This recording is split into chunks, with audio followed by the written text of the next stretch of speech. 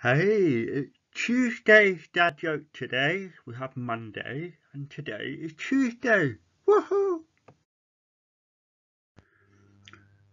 What did one wall say to the other wall? I'll meet you at the corner.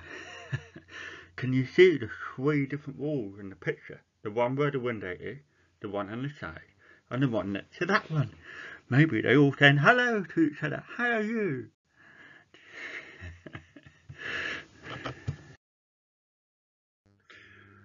What do you call cheese that's not yours? Nacho cheese.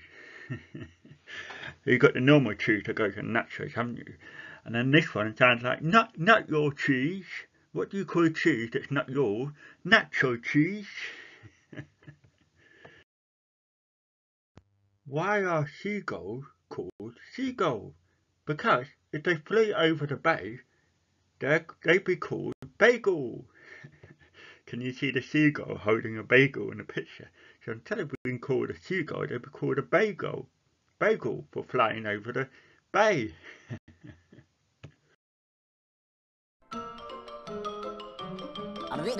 That's all, folks.